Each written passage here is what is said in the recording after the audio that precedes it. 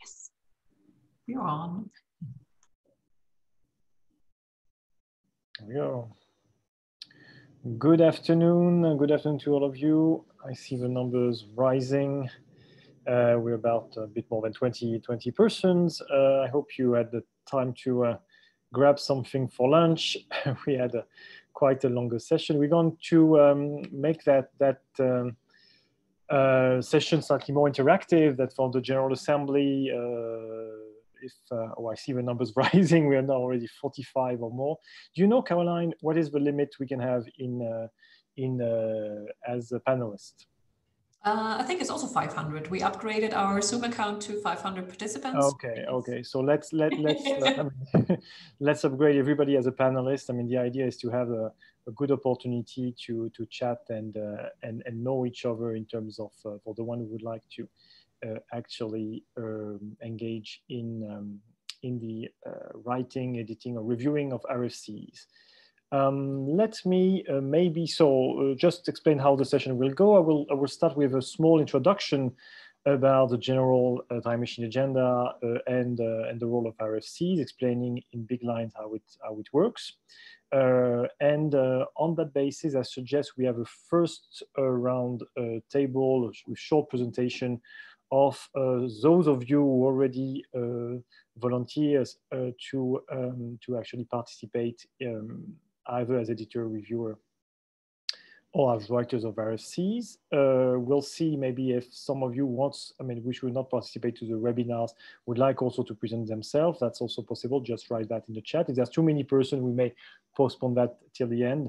Uh, but if it's if it's fine, we can actually add your presentation. And then once we're done with this, uh, Daniel Jeller will uh, explain you uh, how it works in practice in detail, especially making uh, going in detail on the GitHub installation we have actually created for writing, editing, uh, and transforming the uh, the RFCs. Um, don't hesitate to to switch your your camera on. So it's nice to see all these uh, faces. You're not obliged to do it either, of course, uh, but, uh, but it's uh, that's a bit the idea of these sessions.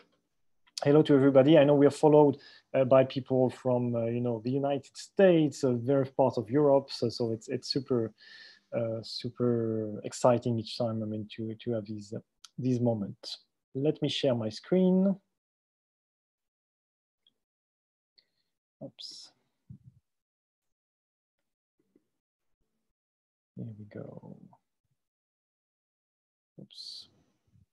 For some reason I have this button here, unlike to you you see my who can share thing? Yeah, that's a problem. let's do it. Let's do it like this. Oops, here we go. Okay, um, so uh, we won't go into the whole detail, but just I would like to give you to to to show again. I mean, the basic uh, technical infrastructure uh, of the time machine. Uh, it's uh, it's essentially a, a, system which is uh, organized in we can potentially say three parts. I mean, some parts which we have on the left are what we call digital content processors. they are made for extracting information uh, from a various series of uh, uh, documents uh, ranging from uh, image, photographies, maps, cadastres, natural history collections, videos, actual architectures and um, music scores, whatever. So there's, I mean, dedicated automatic or semi-automatic systems in which these documents are typically annotated trained on that basis, and these are created partial knowledge graph, as we call them. Uh, at that point, of course, you have a series of challenges already in the sense that one needs to agree on standards uh, on how to do these extractions uh, and how to organize uh, and how to organize uh, things. Uh, the these elements are put together in a big um, buck, I mean, which we call this big data of the past. And this is where, I mean, of course, standardization is important. I mean, one of the uh, goal of the of the time machine is agreeing on what we call the data graph. I mean, a process by which it's possible to, to still have the multilingual flexibility, uh, the actual uh, possibility of doing uh, different levels of modelization, but actually agreeing on a, on a model level, which permits to aggregate this information in space and time. And you have various um, entities which are processing, I mean, this graph in various way. Uh, one is called a large-scale inference engine. Uh, it's essentially a way of, of doing conjectures about, uh, about the data, uh, doing, in some cases, inferences, uh, doing uh, various various forms of, of treatment uh, in order to check on the one the coherence or, the, or detect potential incoherence and potentially uh, do some deduction or abduction on this data. So it's a form of classical artificial intelligence techniques. Uh, you have another system which is called the Universal Representation Engine, which is doing all the things which are linked with what we can call non-conceptual content.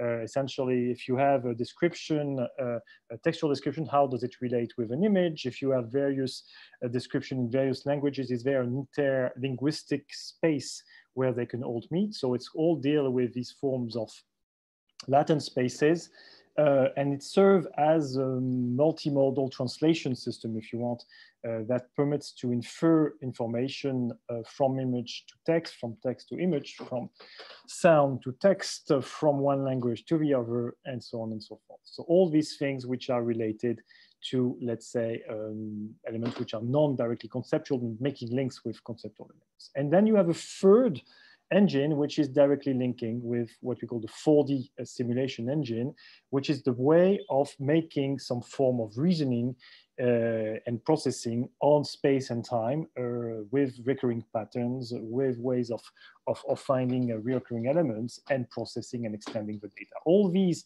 there's a form of loop, as you can see on the schema, which is taking the data which has been fed in and re-inputting data uh, which is which has been changed. All this needs to be tra tracked, uh, monitored. There's of course an issue about about uh, the existence of potential incoherent data, which we may call fictional spaces and various various elements like this, and all this needs to be solved in a way or another. And in as a third uh, view on this, you have what we call the access platform, which are different views on that particular uh, ongoing uh, process of uh, connections of data. And uh, that is linked with particular uh, usage for, for some exploitation platform, for typically for tourism, typically for a special work on architecture, for instance, but also for the academic world, for research, but also for citizen usage, and so on and so forth.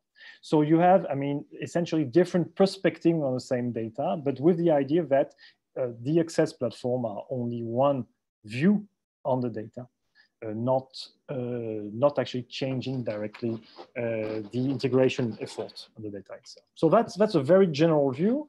Uh, one way, I mean, of, of viewing it is viewing it from the interface point of view. This is what we've been calling talking about mirror worlds, and this is part of the of the planning we have.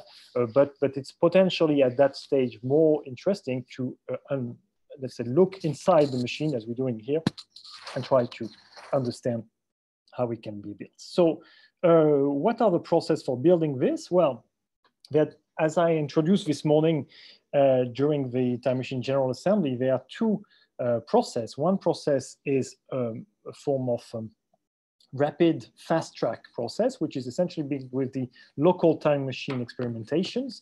Uh, projects are created which deal by digging particular sources and producing data which need to be put in the data graph. And so this is uh, going on in various cities, in various contexts, uh, currently not necessarily in a, in a completely coherent way, but, but what we're trying to do is, is document all this. This project also could be dedicated uh, for building two types of, um, of assets. One thing which we call operators, which essentially are code libraries.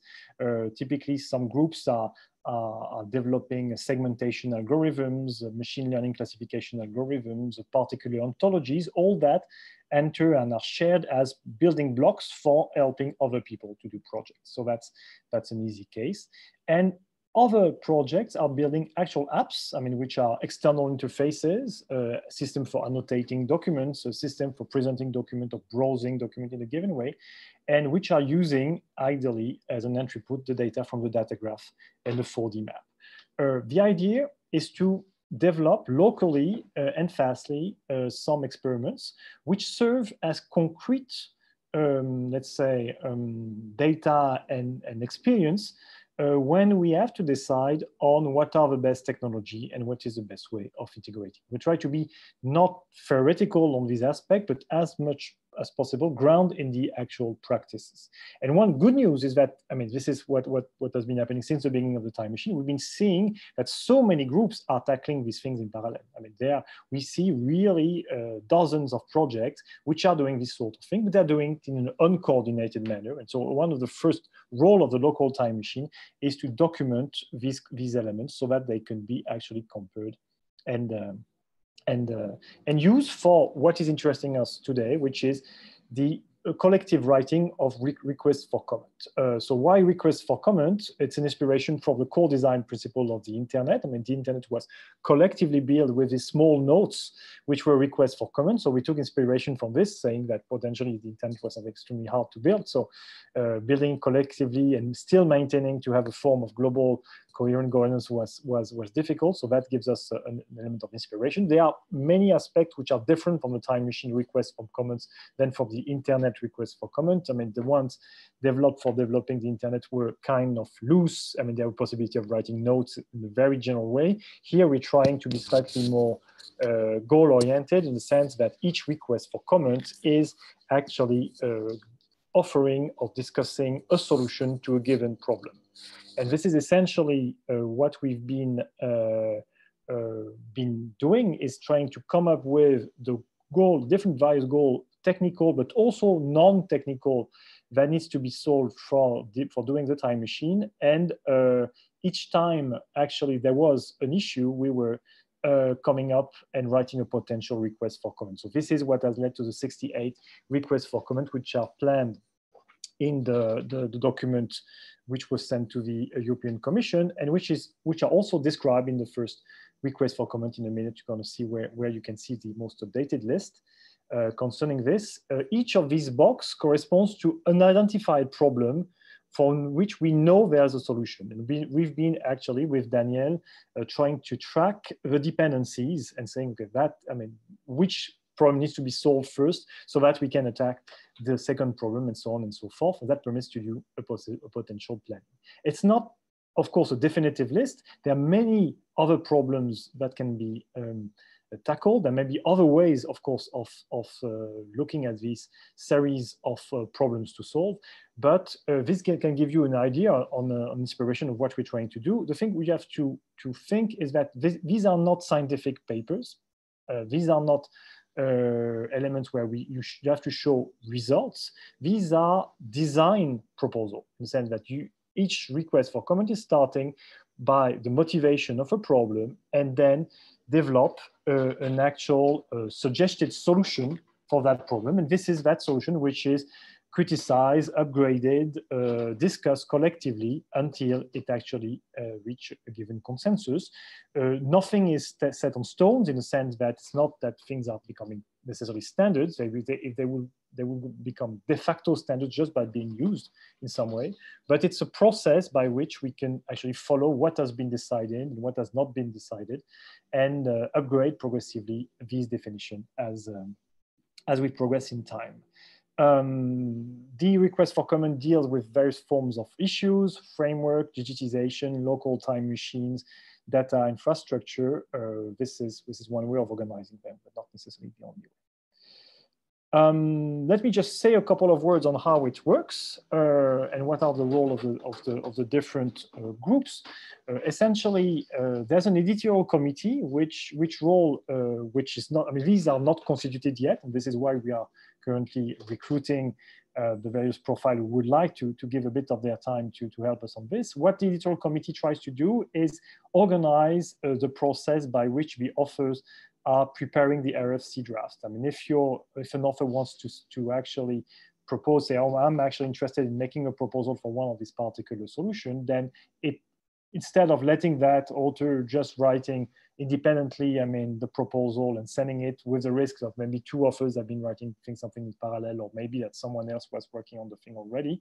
The editorial committee is is um, organizing the process, putting uh, authors in uh, in uh, in connections if needed, and then uh, following, I mean, how is the draft uh, actually um, um, produce. When the draft uh, reach a first stage, it's, there's also first, I would say, um, reviewing, which, which is slightly more, slightly informal, done by the editorial committee, and also already to some extent by the by the community on the GitHub platform to uh, try to come up with a good enough uh, proposal and once we reach that particular, let's say, level of, for, for, for the proposal, then there's a second review process, which is uh, with a slightly larger community using the open uh, review uh, platform. And Daniel is going to present that in detail.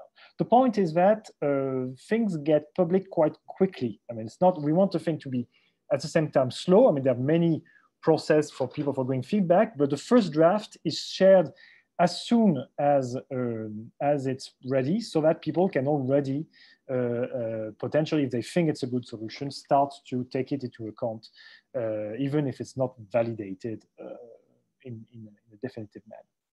So, uh, for instance, you'll see example today with the, for the RFC5, which is describing all the functioning of the local time machine. This is quite elaborated draft already, but it's not yet in the open review phase. I mean, still, as we are bootstrapping the, the, process uh, in, a, in an earlier phase. Um, the point, uh, another responsibility for the editorial committee is to maintain what we call the RFC tree, which is updating uh, not only the RFC which have been written, but the RFC which are planned. It's very likely that maybe writing an RFC, you will uh, have an example of sub RFC to, to be written saying, okay, that RFC is solving that problem, but as we write, there's at least two or three sub problems which were identified, and they have now a reference, they added to the tree so that people, when they try to see how they can participate, they can see whether the problem they would like to solve is already in the tree uh, or not. And if it's not, it needs to be added uh, with a discussion with the editorial committee. Um, well, that's basically the process. So a, a, form of, of, preparation with the editorial committee and then a larger review, which is done um, by the population, by the, uh, by the, um, by the larger uh, community.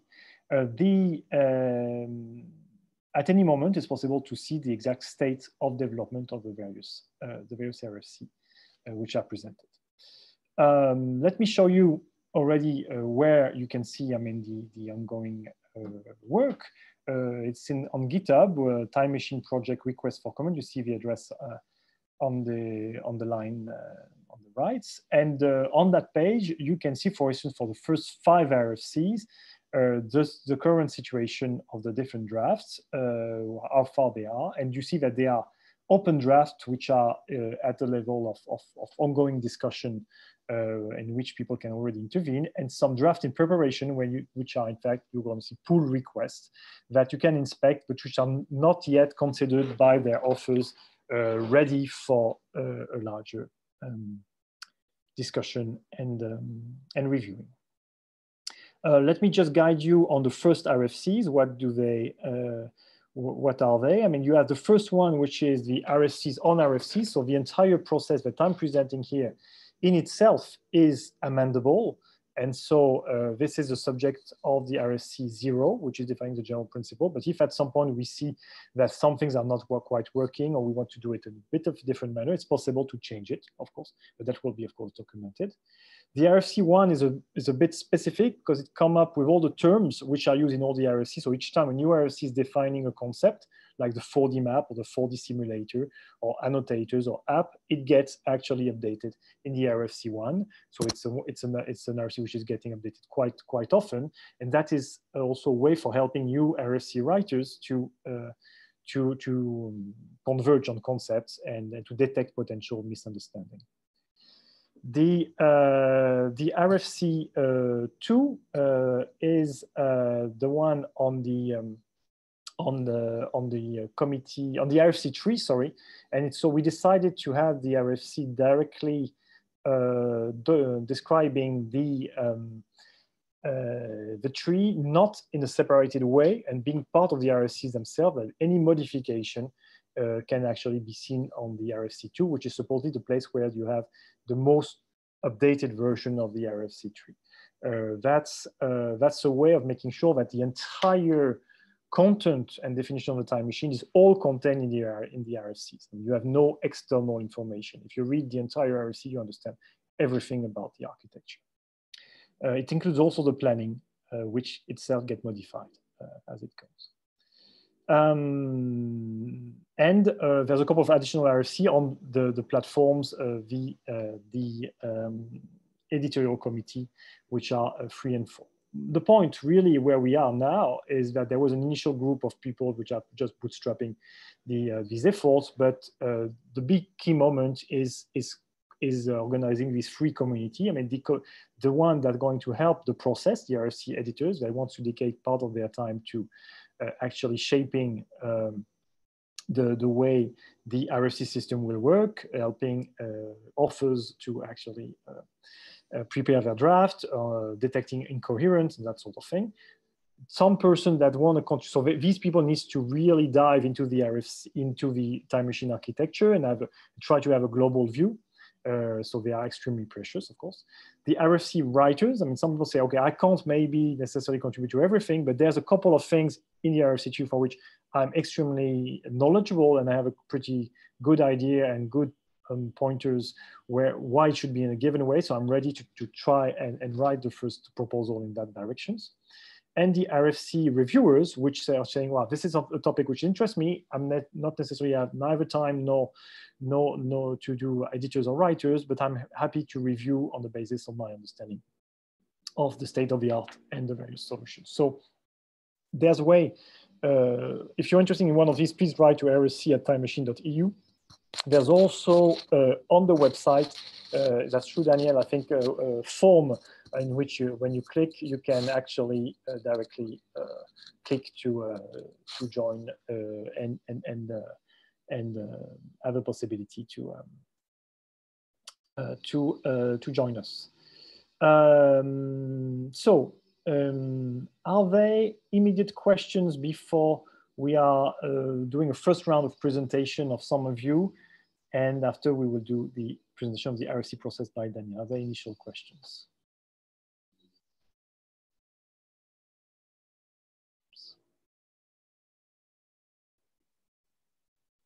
No questions? Okay, so so maybe I suggest we so so as we I explained, we we did a first webinar where we presented some of these elements, and some of you uh, participated and said they wanted actually to to to join us, and so we asked them to to to present themselves uh, uh today, maybe saying a couple of us who, who they are and what are the part of the of the uh, of the challenge they would like to um, to tackle. Uh, let me just excuse the Simon Rainer. Uh, he's the uh, technical director of Pelagios. He wanted to participate, but he cannot be uh, with us today. But he wants to get involved, and so we will uh, start by Konstantinos Kotis. Are you yes. with us, Konstantinos? Yeah, you are. Okay. The floor is yours. Okay, thanks. Okay, so let me first also share my screen and uh, and uh, right so um, thank you again uh, for um, this invitation. I'm glad uh, that uh, uh, i joined you again since last year in dresden. Um, as, as, you said i'm konstantinos and i'm assistant professor at the department of cultural technology and communication of the university of the aegean in greece. Um, and uh, I'm a member of the Intelligent Systems Lab, um, leading the Semantic Web and IoT Research Group. Uh, our research is organized, as you can see, in four research groups um, in 3D visualization, computational intelligence, um, uh, intelligent interaction, and semantic web and IoT, and applied mainly in the domains of cultural informatics and digital culture. So I'm this guy on the right uh, of your screen. And um, uh, our lab uh, is uh, working um, on several R&D projects related to cultural heritage and, of course, to, to time machine. And selectively, I would like to mention um, a, a, couple of them. so there are two, two Interreg projects, DigiArc and ReCult, for the preservation and uh, promotion and dissemination of medieval and religious culture, um, where we're implementing digitization and 3D modeling tasks. Um, there is a national uh, funded project where we're developing an ubiquitous uh, platform for cultural roots and touring experiences. um, and uh, a national funded, uh, nationally funded scholarship um, uh, where we develop algorithms for um, automatically enhancing color perception in digitized, digitized art paintings. And that we do that for people with, that suffering from color vision deficiencies. So specifically, uh, uh, for my group, the group that, uh, as I said, I, am leading, the expertise related to time machine can be outlined in three research areas and topics. The first one is knowledge representation. The second one is linked data uh, modeling. Uh, and the third one is knowledge management and ontology engineering with a focus to semantic data management and uh, um, to, to ontology-based data access, to integration and reasoning, ontology engineering methodologies and tools, and knowledge, knowledge graph management. So uh, a representative list of current R&D uh, work of my group related to time machine uh, could be the, this one. So we have um, first a conversational AI uh, for cultural heritage and museums in the era of knowledge graphs, um, generating and exploiting semantically enriched, integrated, linked, and open cultural data, semantic trajectories modeling analysis and, and uh, recommender systems for smart culture spaces, and finally, uh, digitizing and documenting uh, semantically annotating and publishing content in the semantic web. So regarding my labs and groups past and future contribution to Time Machine, I just would like to, to mention uh, um, and, and, and uh, to remind you that uh, uh we have contributed to fact sheets for uh, artificial general intelligence uh, as an author um, and data knowledge modeling with um, reviewing comments. And we have uh, presenting uh, um, at lightning session on uh, local time machines in Dresden. And we have been acting as uh, regular members of Time Machine Organization for two years now.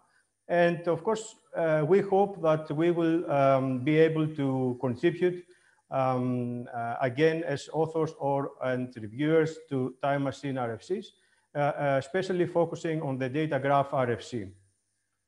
So we have already some uh, expertise with, uh, um, already some experience with a number of related uh, um, to time machine knowledge graph technologies, such as uh, the EDM, CIDOC, CRM, time and location ontologies, graph stores and platforms, uh, spatiotemporal RDF stores, uh, RDF query languages, and virtual RDF graphs. So finally, I, I, would like to add that uh, uh, we are uh, following related research uh, events and publications, such as the recent one, um, the recent workshop on computing techniques for spatiotemporal data in archaeology, archaeology and cultural heritage, with a number of related research topics, um, topics that we would base our work on the time machine knowledge graph. Um, so such work focuses uh, on, uh, on cultural, um, uh, on challenges in spatiotemporal uh, modeling of cultural heritage information, reusing uh, existing models and technologies um, such as CIDOC CRM, CRM Geo, GeoSPARQL, Owl Time, and, and, and others. So uh, that, that's uh, uh, for, from me any questions if you like, or at the end, I don't. I mean, yeah. Uh, thank you, thank you very much, Kotis. I think I think indeed, I mean, your your contribution would be much much. Okay, thanks. Uh, much appreciated. Uh, indeed, I mean, part of the challenge in uh, in the data graph is to uh, reuse a part of the very good ideas. I mean, that there are on many of these ontologies. I mean, especially the event-centric idea of CIDOC CRM, uh, the way the time ontologies. I mean, have been have been actually quite solving. I mean, most of the hard challenge there is in, in, in mm -hmm. this modelization. So, so there's a couple of points uh, specific. So I will will will then dedicate probably once we'll. I mean, the, the key idea is that when we get a better understanding about the distribution of people, then then we will create subgroups, of course, and uh, and try to see uh, whether first informally uh, whether people are more or less agreeing on the directions, and if it's uh, and if it's clear, then then creating the writing groups. But I mean, your expertise is, is much needed. Thanks a lot. Sure. Thank you. Uh, moving to uh, Maria Ozuna um. Hello, good morning. Thank you very much for your invitation. Um, I would like to share my pantalla here. Okay.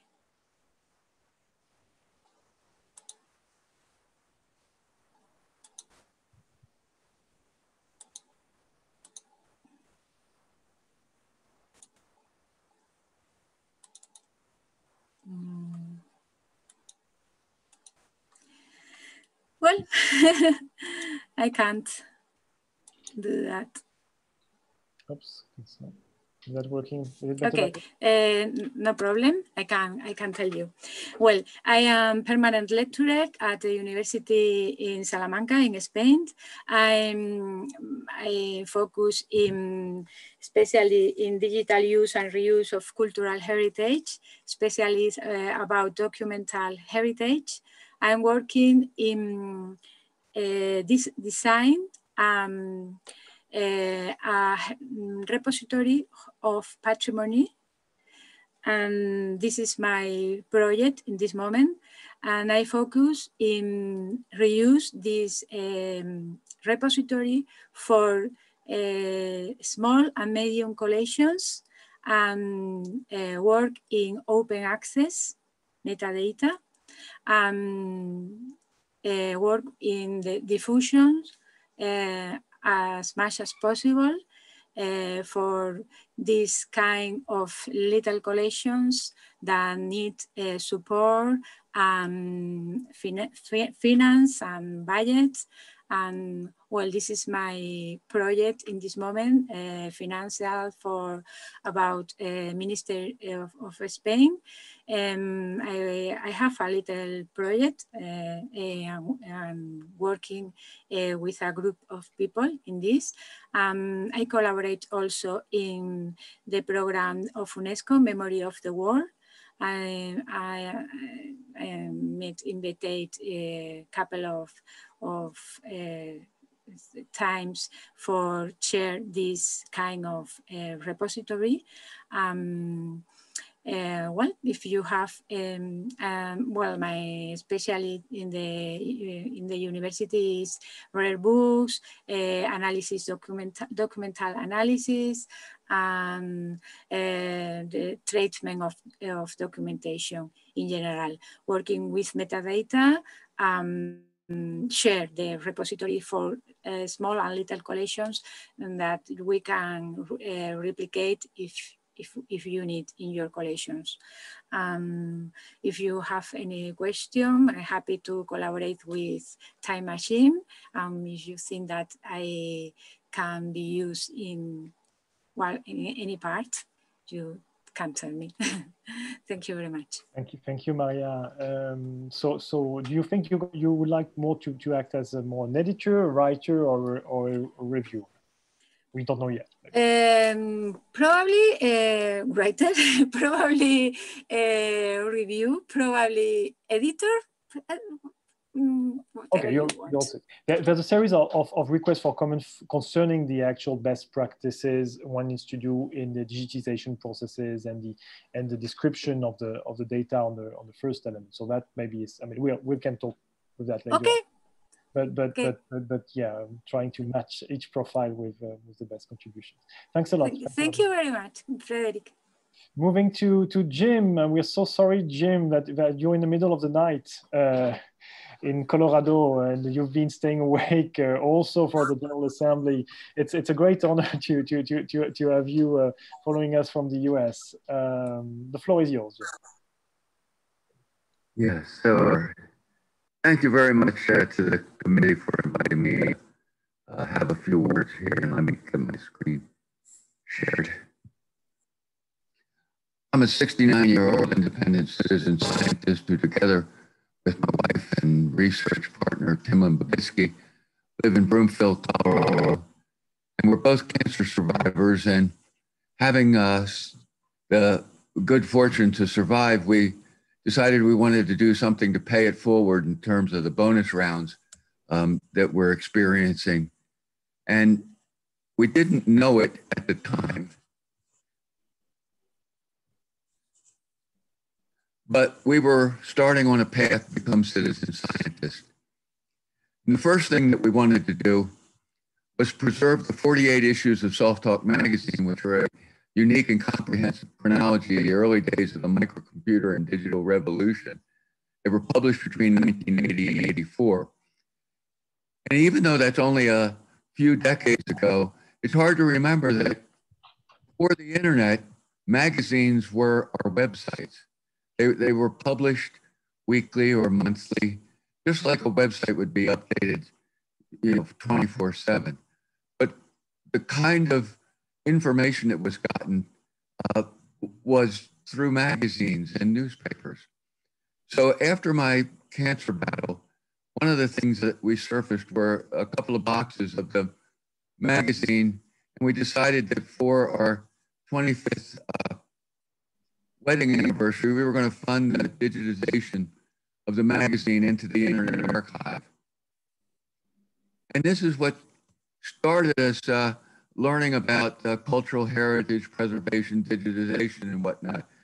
And having spent uh, the bulk of my uh, career as a soft talk, a small, uh, small talk, uh, soft talk software designer and developer, I came up with ideas that I eventually learned um, would be considered ground truth storage formats for serial publications, where what we wanted to do was to develop a, a, a completely uh, fact cloud uh, version of the magazine that would be based on uh, an integrated complex document structure and content depiction and time series model based on uh, an ontological stack of CIDOC CRM, FRBR, and PressOO international standards.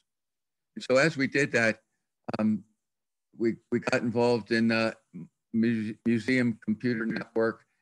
And as I developed a personal learning network, primarily of, of good folks in the EU and the UK, we got involved in the uh, DATeCH program and had a couple of our uh, papers uh, accepted for posters in the 2017 and 19 uh, conferences.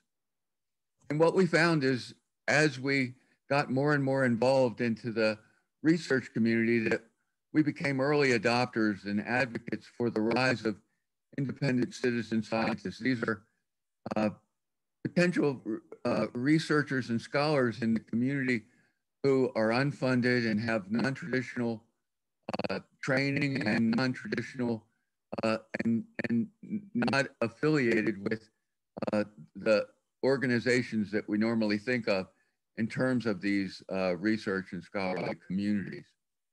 One of the things that we found early on is that we became very familiar with, we, we, we saw the Venice time machine and how it uh, evolved into the, the time machine. And, and we said, geez, this is, we recognize this as the digital humanities and cultural heritage moonshot of the 21st century and so we wanted to become part of it and uh, and and so we've we've been uh, active um, involved in in uh, watching the and contributing to the growth of the vision for the time machine project and so as we heard about the rfc process before uh, the documents were made available we reached out to the uh, committee uh, editorial committee and put forth a couple of ideas for RFCs that we thought we might uh, contribute to the effort. One was focused on uh, our specific research, which is the formation of a ground truth standards, tools, and data sets working group. And the second was the one that we found, uh, we, we wrote a, an informal uh, uh, roadmap for citizen scientist participation in the time machine project. And this is before we knew what uh, was contained in the uh, massive uh, RFC tree. And as we looked at the RFC tree, we realized that we probably don't need uh, a separate RFC for the roadmap for citizen scientist participation. And in fact, we can look for collaborators and partners who want to work with us on, on some of those ideas and so what I wanted to do was um, focus just a couple minutes on this idea of a, uh, a working group for the ground truth standards tools and data sets. In reply to that entree of uh, my volunteering to, uh, to form such a, a, group, I heard back from the editorial committee and they invited me uh, to look at the, re the reference tree and make some comments here today.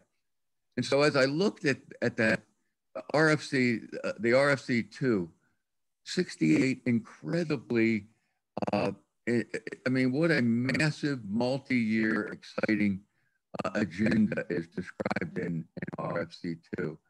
But what I saw was that this was fundamentally um, a, a, collection of uh, silos of, of what and how, of work process and, and work product and process over many years. And, and so I, I was taken, uh, you know, to the task of saying, well, where, where would such a ground truth standards tools and data sets working group fit in uh, to this RFC tree? And I was reminded that one of the things when, when I spent so many years in uh, software design and development, there's a, a, a, metaphor that we often use in terms of talking about managing software projects where we talk about herding cats. Um, talented people with incredible skills, but in the course of a large software development project, it, it is often the case where you have small groups of very specific talented people and you say, we're going to need Sam during these months and weeks and is that person going to be available and whatnot. So I was looking at the RFC tree with this idea of, of how would we herd the cats of people who are interested in the ground truth uh, working group. And as I looked at it, I realized that as I read through, I would be like, oh, there it fits in here. And then I'd read a little further, no, it goes in here. Maybe it better fit there. So uh, it became clear to me that that when we think about the the groups of people who would be uh, involved in the writing, editing, and uh, review of the RFCs that, that we potentially had the need uh, for uh, a, a, a, recognition for these uh, groups of, of folks who will be uh, part of the, the ongoing process over the next few years. And so I would like um, to make my final comment here be that, that I see an opportunity where we could expand the definition of RFC 4 from the RFC uh, for the editorial committee to be uh, the RFC on editorial committee and working groups. And I would append a paragraph, something to the extent of RFC working groups are self-organizing networks of researchers and scholars sharing an interest and expertise relevant to the mission and values of the Time Machine Project that transcend affiliation with a single specific RFC. Such groups are anticipated to serve as persistent and efficient human resource pools for the authoring and review of the RFCs envisioned within the RFC tree. This RFC will define the chartering process and best practices for the creation and contribution of such groups. So with that, I want to thank again the editorial committee, uh, Frédéric, uh, Kevin, and, and Daniel uh, for inviting me to make uh, these comments. Uh, if anybody would like to take a deeper dive into the ideas that, uh, that we're working on in terms of our ground truth storage format magazine, GTS, research. I did a manifesto article in 2015 uh, that helped launch my personal learning network. Um, and these slides I have posted on uh, uh, ResearchGate, and I'll put in the chat a link to that.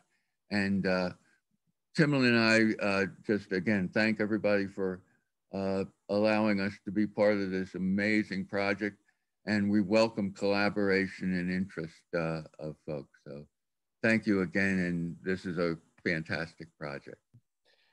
Thanks, thanks to Timlynn and you. Uh, I mean, that's. I mean, it's, it's especially thanks especially to go immediately. I mean, I think in the in the question of the edition, and I think we had in the the core of the really the discussion we want to have. Uh, to to come back maybe a second on, on what you suggested, uh, it's true that I think the ground truth aspect is something which was a bit overlooked. I mean, in the current RFC tree, and so uh, so there's two approach. I mean, either as you say, I mean, it's it's something a bit transversal, and so so we need maybe a working group to think about it, or we may actually, I mean, without we may create an RFC on this. Uh, really, I mean, the group having to to produce this because uh, there's obviously different aspect of it. I mean, we need the ground truth for training uh, systems uh, at mm. quite quite immediately at the level of local time machines. People, this is some of the aspect of, of exchanges which are which are happening quite early on in the in the training process. So that that is uh, that is highly valuable. And, but we need also change a bit. It's it's let's say it's content or it's. Uh, its um, its nature uh, when we're dealing with comparing, let's say, the various extraction uh, and test their coherence regarding uh, other types of ground truth. And so, so that's super interesting, and that typically the type of discussion we like to have and uh, and progress. So, so, so we're not going to decide whether we're going to do working groups or not, but thanks a lot, and we're going to uh, bring you to the conversation because I think this is typically um, that type of um, final look we would like. Uh, I like, uh, and, and on the other point, I think also the question of citizen scientists is overlooked now in the RFC tree. I think it's a natural aspect because we have, uh, it's, it's made by academia, and then you have a couple of companies, but, but, but taking absolutely seriously the, the, the, capabilities of citizens to uh, transform the time machine in what way is, is a hot topic. Uh, in the General Assembly presentation, I, I, said really the time machine to be made by citizens for citizens. So it's absolutely key to, to manage, uh, to successfully pass, I mean, this, this step. Uh, and so the goal of the RFC is to transform that, that need, that, I mean, how do we have citizen scientists uh, involved, uh, but coming up with concrete proposal uh, on which we have idea on how to structure these communities, identify the typologies of citizen scientists, bring them on, on, the platform in the right way. So, so these are two very important topics which I think deserve deserve a lot of attention and I suggest we continue working on that together. In, uh, in the, yeah, in, uh, maybe at, be at better time, uh, not in the middle of the night, for you, maybe slightly more synchronized or, or, or, later in the afternoon for for us. thanks a lot, Jim. They're very precious. Uh, very, and thanks for your commitment and uh, and and um, careful look. Uh, we, are continuing our our movement, our tour of of uh, the, our initial set of volunteers with Jochen Bucher. Are you with us? Ah. Jochen, not sure. Okay, maybe. Oops, no. Okay, no, no, no worry. Uh, have I forgotten some some somebody among the one who initially uh, were candidates for for joining after the first webinars? No. Uh, are they in the in the audience before we go in and dive in slightly more detail about how it works in practice? Some people that are so motivated that would like to actually, they think they can contribute either as editors or, uh, writers or, or, or as reviewers and would like to say a couple of words of presentation. Don't feel shy. I mean, that's the occasion of uh, I mean, we, we're more than 68 now in the, in the webinar. So anybody? Shall I just uh, share my enthusiasm for collaborating on the citizen science involvement RC? I gladly uh, act as the right co-author uh, of that. Excellent. That's that's what we want. We want like cohort. I mean, we want situation where people are fighting to to actually join and write together. That's exactly the spirit. Thanks, thanks, Julia. Anybody else? Don't feel shy. Okay, uh, you you will have over. Okay, yeah. I I put uh, Francesco Beretta. I've put. Uh, shall I speak just or? Yeah, go go ahead. If you can switch your camera, that's easier okay. because. But. Uh, oh yes, sorry, because. Hello, Francesco. Yeah. hi, hi. And I can try to share my screen. Just one second. It's about uh, semantic technologies. I would like also to participate in the same uh, but from another perspective in the same uh, uh, group or RFC as Konstantinos mm -hmm. What he presented. But from another point of view, I try to quickly share my, my partager l'écran. Let's see if it works. Yes. Now. We had also a poster last year in the Time Machine conference that you can find about this workflow, because as we know, uh, I'm speaking until uh, the screenshot, the screen is coming. So the idea is uh, projects produce data in different formats or have available data. And uh, of course, we know semantic technologies allow to, um, to share this data with the correspondent uh, models. But um, what we tr to try to work on in LARHRA, which is a French uh, CNRS lab, is to participate in developing a high-level conceptualization of social life. so the one first point I would like to mention is that we are participating as editors in the development of an extension of CIDOC CRM for social phenomena. This is then very high level because the vision is, of course, I now and I had my screen, but I have to have the slides. Just sorry for the inconvenience. Find the slides which are here. These are slides, of course, for something else, but normally it should also work here. Okay. So the basic idea is to extend the, C the CRM and we use for this OntoME, uh, which is an application online that already presented a couple of times in the time machine conference and workshops before and so on, where you can, on the one side, add new classes if you want to have them, or you can just take them if they exist and produce uh, profiles that you can use. So just to shortly mention this, the CRM are the white classes. And if you want to have really conceptualization which can be uh, a kind of way of merging all existing data. Of course, every project and every subdomain has a specific vision. We must respect this, and this is very uh, diverse. But we have, uh, we need some kind of level of abstraction so that reasoning also in the sense of uh, semantic technologies can work. And, and therefore you need to have a more high level abstraction.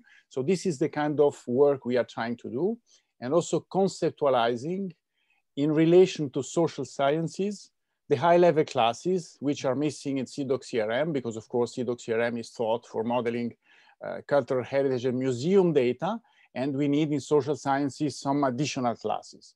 So we would like to contribute. Uh, you can later on in another context tell us where you think we could uh, help and different levels. Here we try, as we know, ontologies are shared conceptualizations, formalized but shared, which means we need communities adopting them so that they become standards. Otherwise, these are local dialects. And that's it's what we are trying. And I think for Time Machine, that can also be useful. And my last point would be, uh, we can have this kind of perspective that we have high level ontologies and their extensions, not just CRM, but even other ones, yeah, like Dolce or other ontologies, which are foundational, then we can have projects ontologies and data, of course, in the projects. And we have to manage this uh, hierarchy in standardized forms with the technologies that our colleagues like Constantinos uh, develop so that we can then have reasoning on all the data. This is one of the components we could have in the time machine that the human being can and the semantic engineering expert can combine a little bit things so then the reasoners can then take more advantage just because you can have the not supervised uh, alignment of graphs or the, or the supervised or at least enriched through uh, this kind of technology. So we would be happy to participate at the level that we can discuss in another context uh, in this sense and bring our knowledge or our competencies there. Thanks a lot, Francesco. I think it's it's it's exactly I mean the type of uh, of of discussion we're going to have on the data graph. I mean, really, uh, I mean, first on the level of a kind of state of of the art, understanding which domain we considered as as being sufficiently well covered by the existing ontologies. I mean, uh, some, some aspects which are extremely well covered by by uh, CIDOC uh, CRM, or let's say core version, uh, which which I would say extension of CIDOC CRM are currently the most uh, efficient, the most fruitful for practical reason or uh, theoretical reason.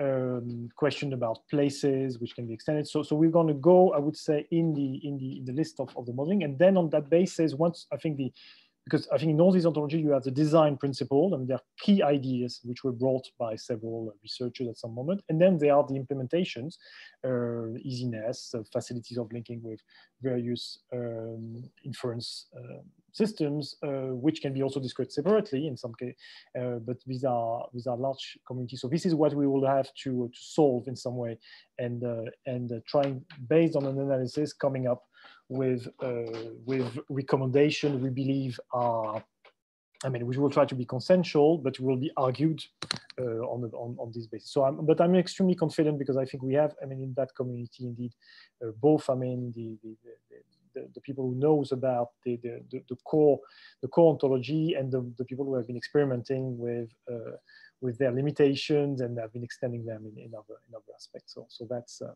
that's excellent. So yeah, we're going. We, I think that is is going to be one of the next. Uh, chantier for uh, 2021 and the data graph is one of the most uh, expected of course uh, elements and we need to find a way to progressively strengthen it and and uh, and manage to to succeed where part of the community have not been so successful so far uh, in bringing a very powerful uh, ontology in practice uh, with I mean, at, with with a rate of adoption which is uh, yeah which is which is satisfactory. Excellent, merci, Francesco. Any other person? Okay, if uh, let's uh, let's I think go now in slightly more detail, and I and hand it over to Danielle. I mean, if in the meantime uh, uh you're you're feeling. Uh, sorry, Fabio. Fabio uh, raised his hand. Maybe. Fabio, okay, oh, you're still with us, Fabio. Okay, Fabio, yeah, go ahead. Just to tell you that I'm also open to collaboration, as I told you in person, also on the data um, category. And uh, of course, uh, I have uh, specific ideas that is in many ways complementary and compatible with Francesco's and, and the, the Greek person, I don't remember. Kotis, Kotis. Sorry, I'm so sorry. Kotis. Okay. Excellent, Fabio. Yeah. Uh, one, one aspect I think also, which I mean, uh, in, your specialty, Fabio, is, is, that one of the aspects is the modeling, and we have some people which are uh, much more in the inference and the type of inference and the and the and the chaining and the deductions, and I think you can contribute also on this, Fabio, because there's yes. we may have at some point a split. I mean, they are linked, of course, because the ontology needs to be support. I mean, the the inference system, but but but and they need to be fought together. But these are two aspects. At some point, there will be, uh, I expect, a, subdivision. So, so I think we have ways also of dividing the work into this. Excellent. So, so we'll regroup all the data graph people, if they call them, uh, for the moment at at a later stage to see how to how to rapidly proceed on, on that. Action. Excellent. Thanks. Any other persons? Okay, so let's move to the to Danielle uh, give you the floor for explaining now in practice the different steps for the production of RFCs, uh, how people can also start uh, giving feedback as uh, Jim has done it uh, in in understanding the current structures, improving it so that so that we, we, we test also the process. Daniel? Yes. Thank you. Um, yeah, hi everybody. Um, already thanks for all the contributors for now. Um, yeah, so what we are doing for the for the next few minutes or, or half an hour, I don't know, um, is I would like to show you now that we have gotten already into detail of, of, of the different facets of the, the time machine um, request for comments tree, more or less. Um, I would like to step uh, a step back uh, and give you a little bit of an overlook about how you will actually be able to, to contribute to the different facets of the system. Um, so if anybody of you is prepared to work on a more detailed level, because we not only need persons um, contributing ideas and writing stuff, but also in managing the whole process, interacting with the community, interacting with the code of the actual RFCs and so on. So I will just show you a little bit about how the system works, the different facets.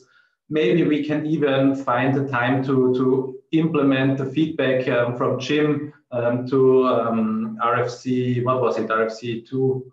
Um, and yeah, then let's let's let's have a look. Uh, please apologize, uh, excuse my my switching different screen sharing things and so on because um, yeah, I will will try to do as much uh, in the real system as possible, and you always have to switch the, screen that you are sharing and so on. So at first, um, I want to show you a small presentation and tell you a little bit about the um, yeah about the, the system from uh, from uh, architectural point of view. So um, as Frédéric already said, um, we are we were trying to to build a system that basically gives everybody the possibility to contribute on different levels, and at the same time um, is not only a textual representation of, of what we are trying to build, but is actually, as, as we, we, we said uh, in several aspects, is more or less like the, the, the code of, of law of the of the time machine, the source code of the of the brain of the time machine, if you will. Um, that means we need um, not only the final final documents, we need to have the history of the documents as well. Who contributed to what? Um, who suggested which changes to be transparent, to be um, able to to really show who worked on what what area. So we were thinking to build a system that, that enables this kind of interaction and at the same time is not too far removed from the other parts of the system that we will build. And that will be, of course, um, mainly source code of the different parts of the system, source code of the apps, source code of the operators, and so on. So we were thinking to build the RFC system basically as, as near to the source code as possible. So what we what we did was um, we imagined it as separate into different aspects. Um, the first was um, the basic um, preparation of, of what we will be able to, to write so that the first the idea stage, if you will, um, where authors um, come up with um, specific drafts of the documents that they, they are interested in, like um, um, the, the, details of the data graph, but um, they can, can, can comment and, and communicate with, with the RFC team on a more informal level. Then as soon as this, this participation, who will participate, who will write, um, who will come up with the first draft and so on, as soon as that fit is fixed, the, the drafts of these documents are integrated in our RFC repository. At this stage, it already becomes a bit more formal in the sense that um, you have to follow um, the, the, the, workflow that we established in our infrastructure.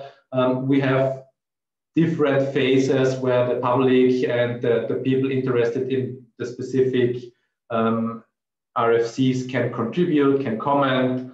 Um, and then um, we move onto, onto an even more formal phase that's um, similar to scientific publications in, in peer-reviewed magazines and um, um scientific journals. We called it the review phase, uh, where we give also people without the, the necessary background to contribute to the technical um, platform like on GitHub the possibility to, to read the, the drafts, to comment on them, and also to, to apply formal uh, a formal review process.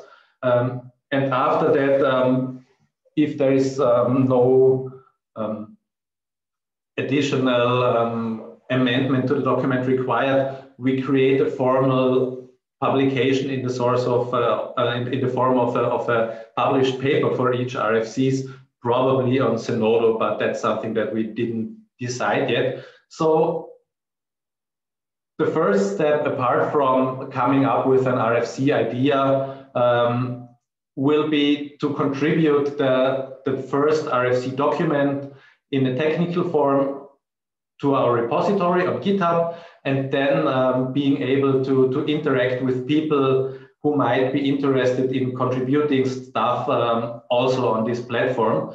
That means, um, to come back here,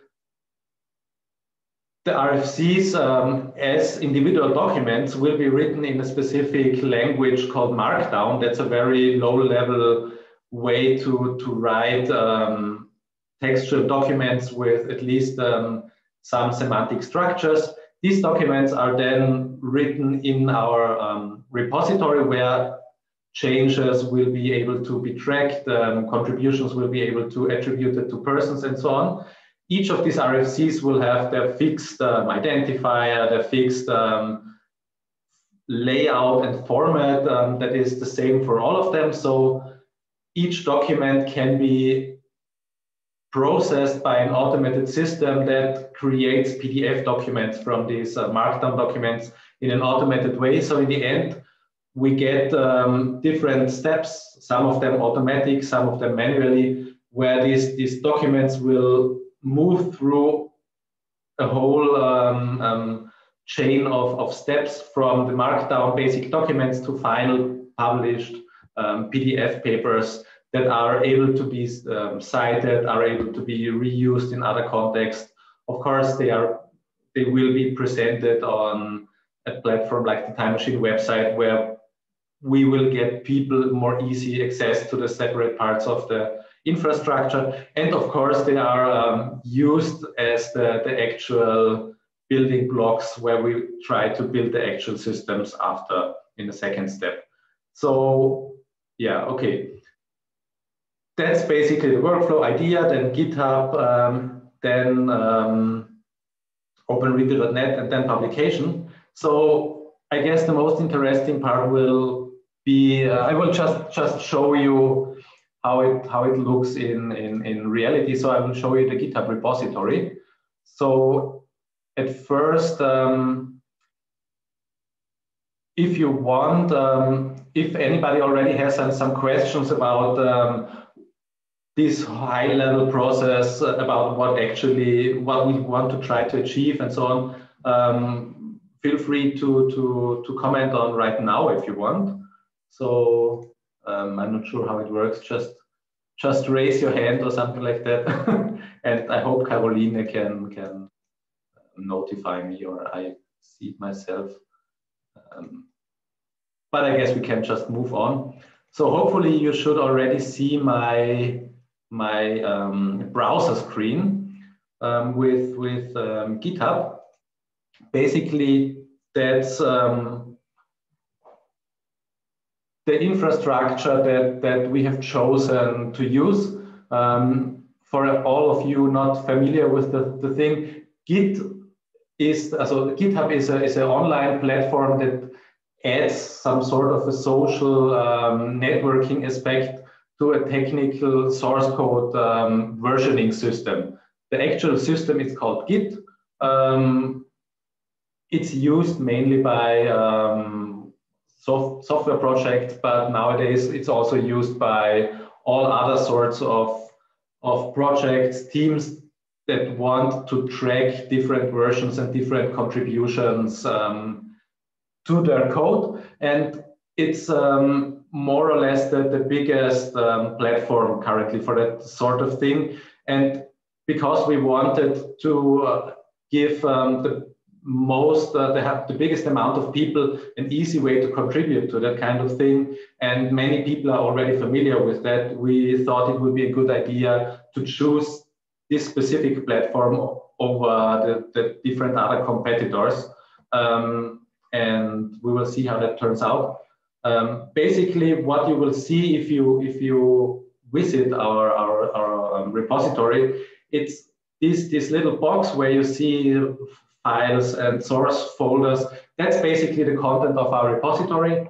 Um, you see a short um, visual representation of the README file where we have some information about the things that are currently going on. Um, you can see immediately if you would like to do that um, the history of this this this repository here you can see um, aha okay on 23rd October, I made some, some changes to the repository.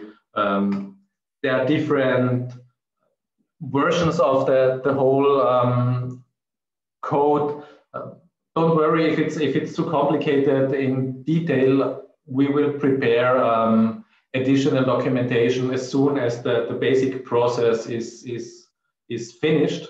Um, but of course, creating documentation is um, a time-consuming process, and we wanted to do it when we are more or less certain that um, the whole thing is is working as we intended it.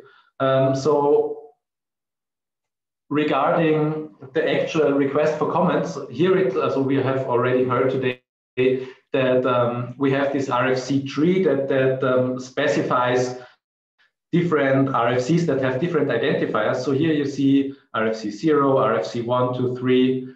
These are the ones that we already um, created draft versions that are able, uh, that, that are open to, to, um, um, to uh, contributions, to discussions, to comments. That's the word that, was, that I was looking for.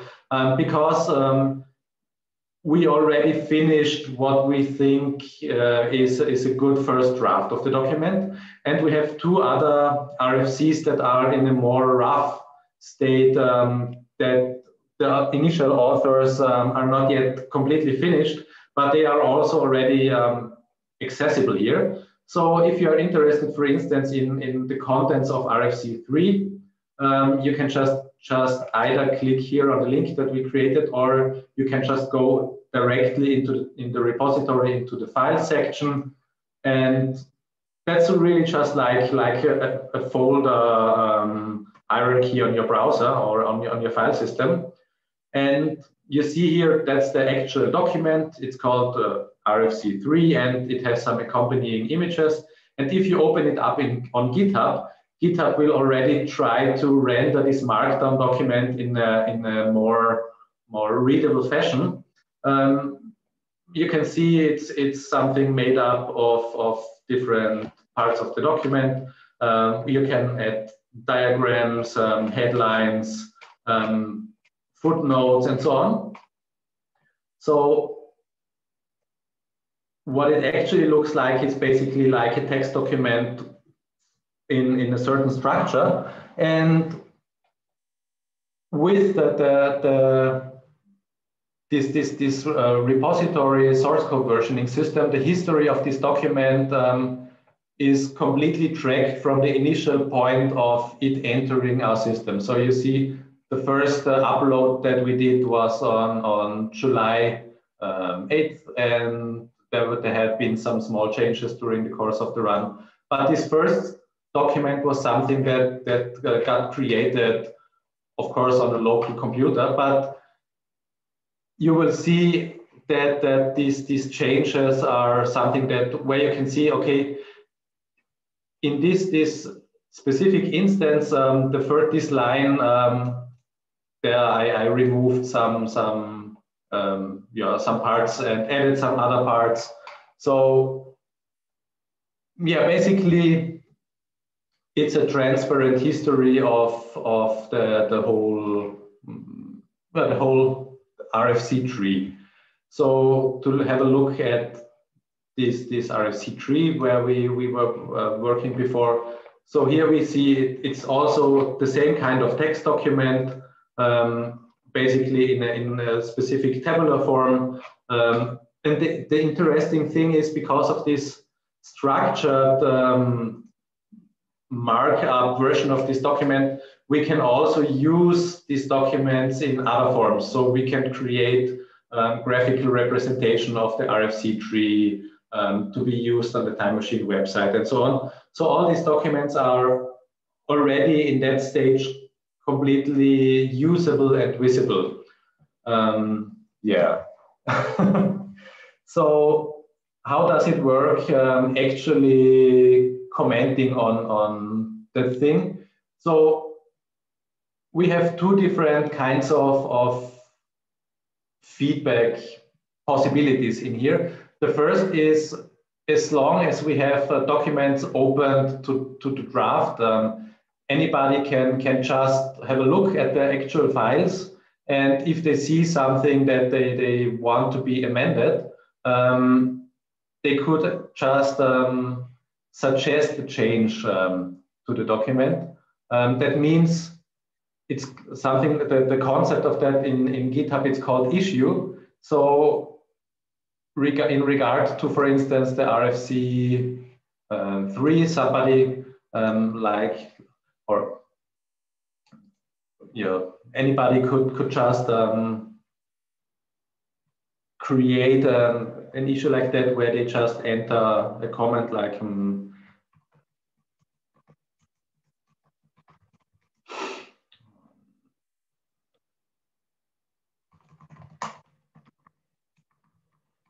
sorry about the, the crude uh, headline.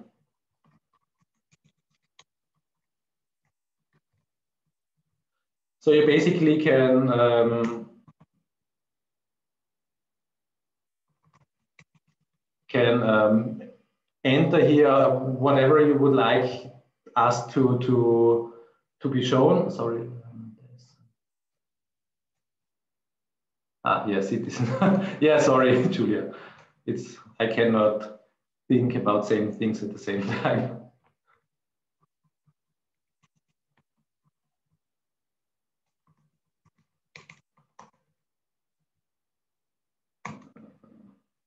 yeah. Really, that's just um, briefly. So at that, at that point, um, it would be visible to anybody and you could enter sections or copy of the, of the, of the actual source code so we know what you're talking about. Um, the persons um, working in the system then have the possibility to add um, more information about it. Um, so it, it's possible to more easily um, find different uh, information about that. And anybody who sees that, yeah, is, is possible, also has the possibility to comment on that, um, to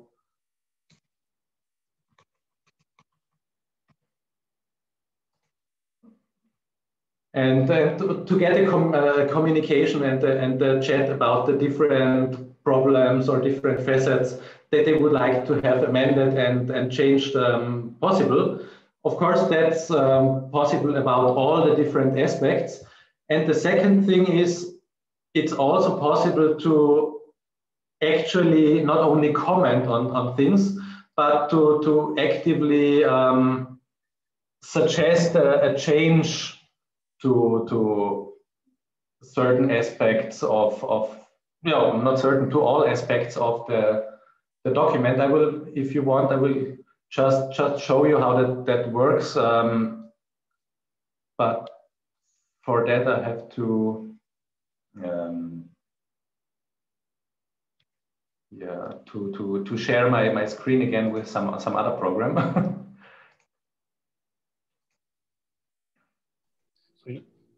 okay, so now you see that that's um, hopefully you can at least see it a little bit that's a, a, a, copy more or less of this repository that I have on my own computer. Um, and I can just um, um, yeah, I can just sorry. um, let's just uh, open up the, the RFC3 and um, suggest a change in, in the first introduction section. Um,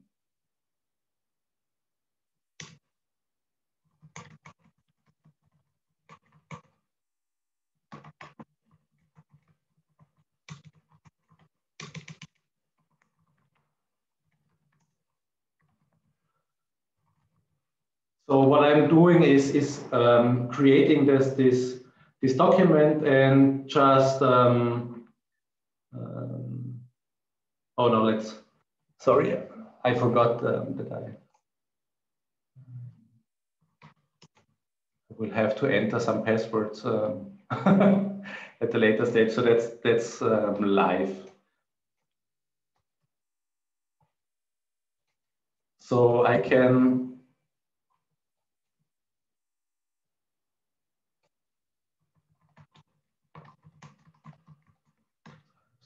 Uh,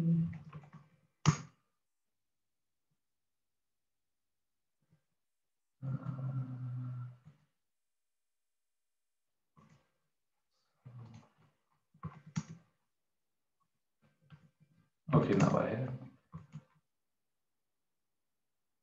I have a problem with my, my computer setup, so I'll just do it in the browser, sorry.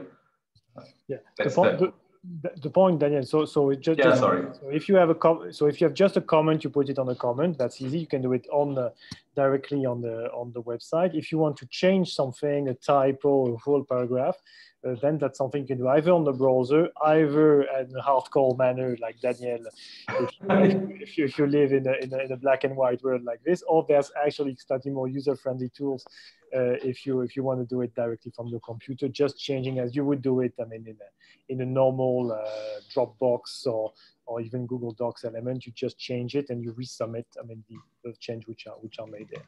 Uh, the nice thing, of course, is that that the thing I think which is important to understand that once this request is is suggested, it's not that is all immediately uh, updated. There is, in fact, uh, the decision to accept or not accept that that pull request.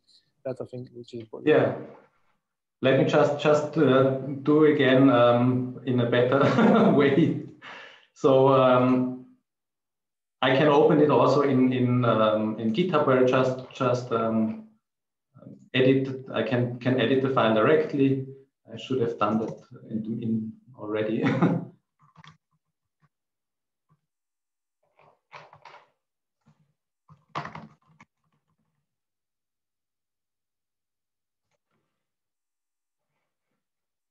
So I just I just now made a change in my own copy of this repository.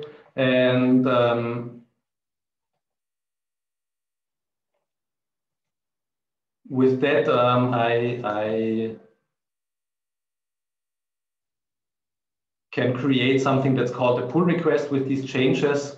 And that's something that anybody um, wanting to contribute in, in the repository, uh, in the, the, chain, the source code, and so on, can do as exactly as I did now in um, a few minutes. So in the section on the, the, the official RFC repository, there is a section, it's called pull requests, where these kind of changes are, are visible. And here, this, uh, this update RFC 3, that's the one that I currently just, just now did. And in it, um, the changes that are made, here I only added uh, a few words in a paragraph, um, these are things that um, can actively be already commented on. So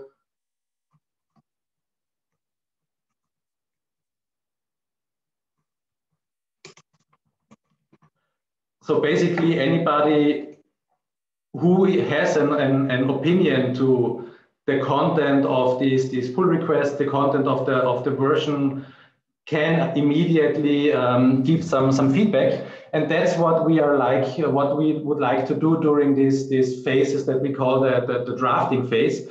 And in that sense, um, it, the, the, the, request for comments documents can actively be uh, a community created document in that sense. And that's what, what we um, need different contributors for, because as you see, on the one hand, we need persons, of course, um, to be able to write um, RFCs from, from a, a, technical point of view, from the, yeah, from the point of view of experts on specific facets of the time machine, like semantic web, like graph technologies, and so on. But at the same time, we need persons with interest in the topic to, to actively comment on that, to actively maybe suggest some, change, some changes.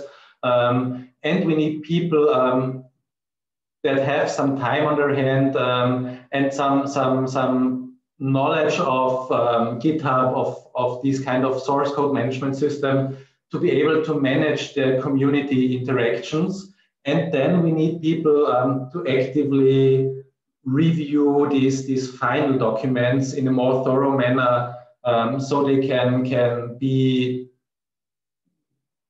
published um, peer-reviewed documents in the end. And so that's that's the, the, the three different steps and the most involved ones will be the ones that are actively working on the, the drafting stage of these documents on um, yeah on GitHub and on these these markdown documents and yeah so there probably are some questions about that right now. Sorry about this short excursion in my uh, computer before but um, yeah so we're not demonstrating open review. I mean, the, I mean, for those who I think who are who are looking, I think it's it's. I guess the population is divided into several. Those who think uh, who understand what Daniel is doing and say, yeah, that's probably the way of doing it. These are the people we want to recruit in the editorial team to help actually managing. I mean, this very careful drafting of the of the RFC. I mean, you must understand that these are a bit like code law. So we need, I mean, something which is a tile like this, which is not like a Google Doc which is uh, which is done by a group of people. I mean, people can work like that on the drafting phase. I mean, in the drafting phase, you can use any tools you want, uh, working with three, four people. But of course, we're changing scale uh, as soon as we're entering on the on the publication on GitHub, and we are dealing with a hundred person, two hundred person, three hundred person. That's why, like with big big software code, we are changing type of tools at that level, which needs much more careful uh, annotation and, and, and elements. Uh, and so if you feel you would like to join us on this, don't hesitate, send us, send us a mail. if you feel you would like to, to be to, to, to review the thing, but not at the level of GitHub, you can be a reviewer, which will be in a much more traditional manner using the Open Review platform, uh, where you receive the PDF version uh, of the uh, of the RFC and you can edit it. I mean, something that Daniel has not shown is that there's a fully automatic process which is creating the PDF documents uh, as soon as a modification is done, which permits them to connect with a community of people, which is not using GitHub or whatever, uh, but is, is able to read a, a, PDF document and say this as this is a nonsense because it will not work for this and that reason.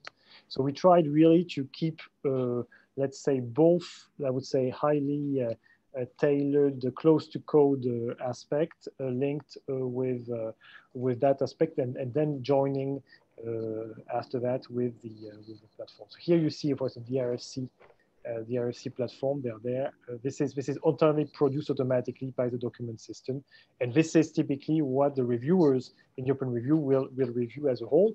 And, and based on the reviewer's comment, then the process actually for the authors is restarting on that basis, making some integration at a fine grain level. So it's not a very rapid process. I think you understood.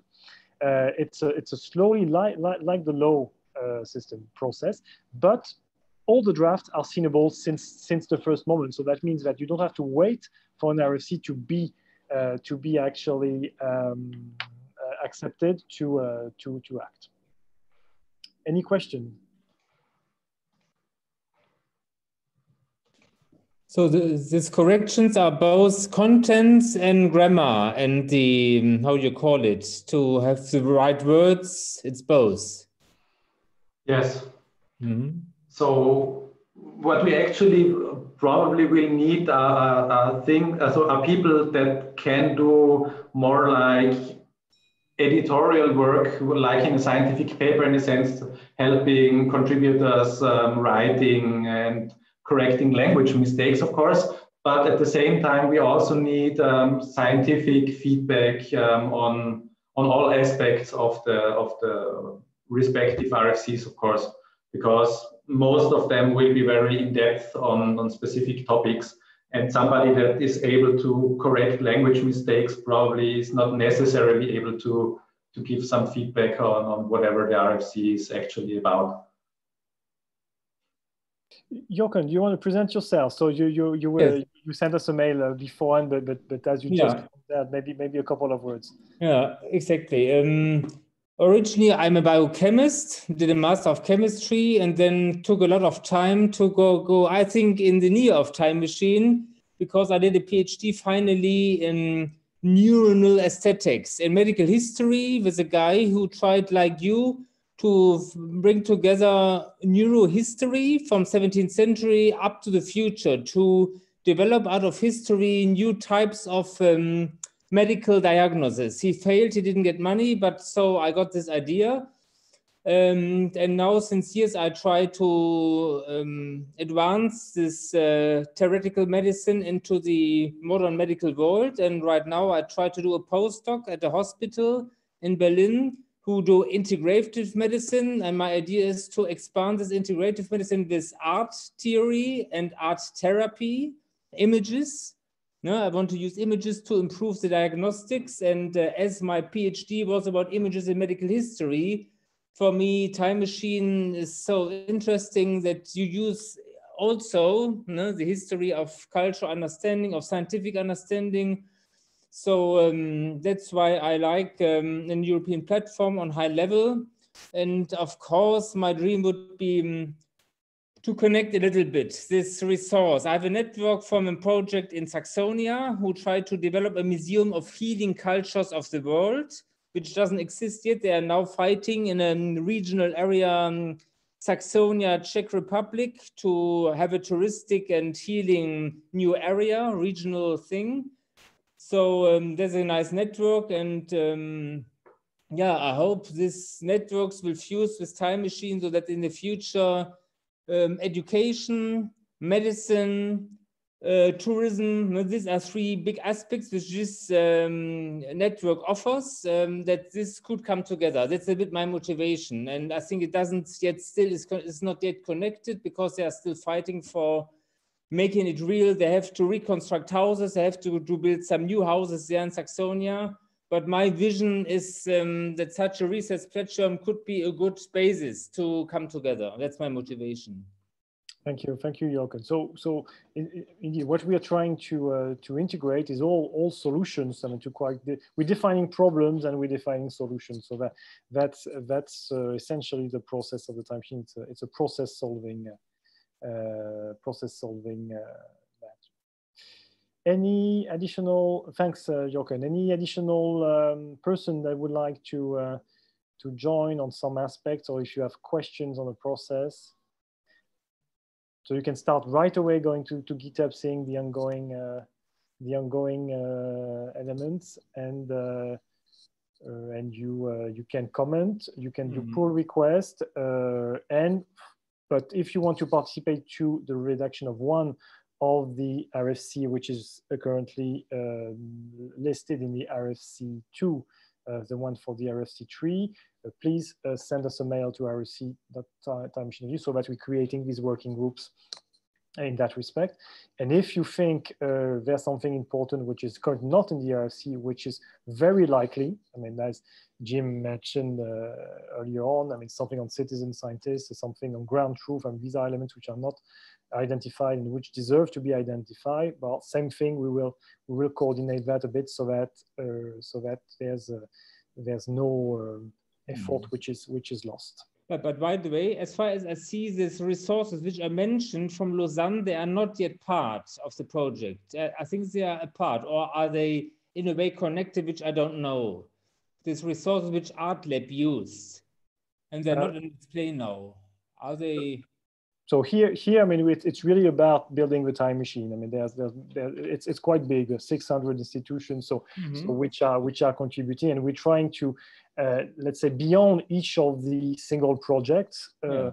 finding ways of of uh, deciding on on common ways of solving things. Yes, exactly. Mm -hmm. Okay. Any additional questions? If uh, if not, I think we can close it uh, close it here. Uh, I invite you tomorrow for the next two sessions, one at 10 a.m. on local time machine and one at 2 p.m. on the uh, scouting, on the project scouting. So in the local time machine session, you're going to learn concretely if you have a project which is dealing with a particular territories and how can you uh, integrate it in a local time machine or on the contrary, if you've been coordinating quite a series of projects, how to enter all these series of projects inside the inside the website. Uh, we'll have a part which is also uh, hands-on. I mean, although we are at the beginning, of course, of this uh, of this process of deploying the new website, but but it's an exciting time. And uh, on the afternoon, we'll see, I mean, if you have an idea of project and you would like to be funded, uh, then uh, you can actually benefit from the project scouting services, which are first helping people to framing their project in the context of the time machine, getting in contact with uh, potentially other partners, uh, and uh, having some uh, support on the way actually some particular uh, funding scheme could be applicable in that in that respect. So as uh, we said this morning on the general assembly, there's going to be a tsunami really of funding schemes based on the next generation EU uh, funding on the topics of the time machine. We would really love that it's not resulting in a multitude of small projects which are reinventing the wheels altogether. We'd like really to, to, to help mediate a bit uh, some of these projects so that not only I mean, they have more chance of getting funding, but we have more chance at a higher level to actually uh, construct and benefit from their research uh, while keeping in mind, I mean, the longer terms of things we have to solve, which is what we'll be discussing today in the RFCs. If there's no other questions, I suppose we, we can close here. Uh, thanks to all of you and, uh, and see you tomorrow for the next, uh, for the, the, the next sessions. Bye-bye to you all. Bye-bye. Bye-bye. Bye-bye.